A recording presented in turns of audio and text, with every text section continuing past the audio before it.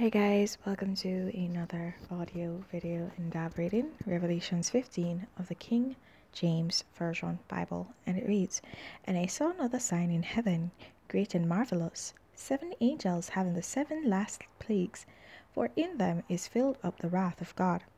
And I saw as it were a sea of glass mingled with fire and them that had gotten the, the victory over the beast, and over his image, and over his mark, and over the number of his name, stand on the sea of glass, having the harps of God.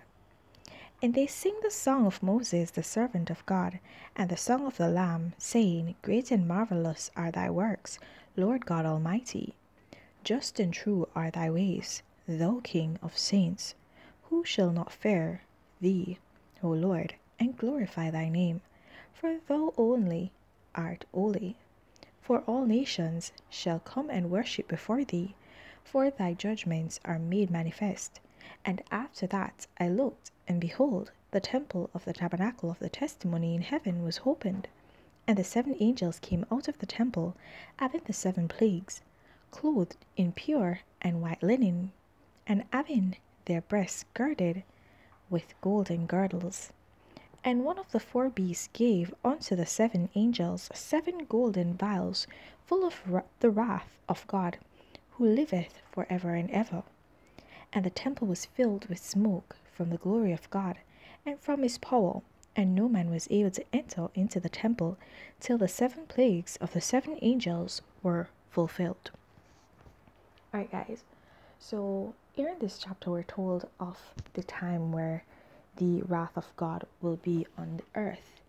And during that time, we will not be able to enter into God's house because He will not allow for it while the seven plagues are taking place. Right?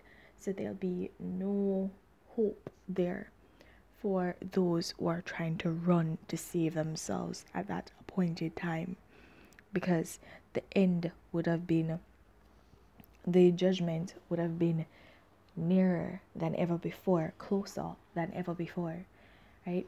And so we know that we ought to seek God when we can. And if you realize it said that those that overcame the beast, those that did not take the mark of the beast, those they are standing on a glass, right? And so we see that they have overcome in Christ Jesus. And we need to be the same way also in that we will stand up for God and we will be able to stand on seas of glass and rejoice that God is indeed powerful and He is indeed able to save us.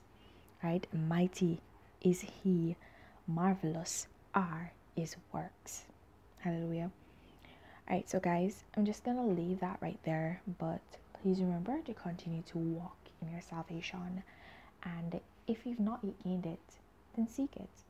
There's no better time to begin than the present. Have yourselves a blessed day. Bye.